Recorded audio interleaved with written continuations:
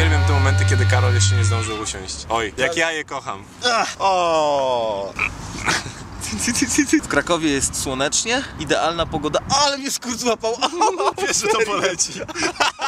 Sprawie wczorajszego odcinka. Wszyscy co wiedzą, to wiedzą, a ci, którzy nie wiedzą, to się dowiedzą za chwilę. Karol, czego się chcą dowiedzieć? Nie wiem. Chcą się dowiedzieć tego, że TVN wcale nas nie kupił, nie przenosimy się do TVN-u, zostajemy na YouTubie, kochamy was i trzymamy się tego, że jesteście z nami od samego początku i dla was będziemy robić te odcinki. Jednocześnie wszystko, co powiedzieliśmy o piwie, będziemy się z wami spotykać na piwo, będziemy się z wami witać na ulicy. będzie jakaś konkretna informacja odnośnie tego, kiedy moglibyśmy się spotkać, żeby wszystkim w miarę pasowały terminy. Zrobimy facebookowy event. Proszę przynieść ze sobą 6 zł minimum. Będzie nam bardzo miło, jak wpadniecie. To jest fakt. Jeśli spotkacie nas na ulicy, to wcale się nie będziemy odwracać dupą. Znaczy ty Ja, możesz, ja mam nie chcę. często słuchawki. Ja zawsze zdejmuję. Przywitajcie się, powiedzcie hej, bo, bo ja czytałem ten komentarz, że Włodku miałeś dzisiaj ładną koszulę w paski. Czytałem i jest mi smutno, że nie podeszłaś się przywitać. Oż ty kobieciarzu głupi. E, Nowe kontakty?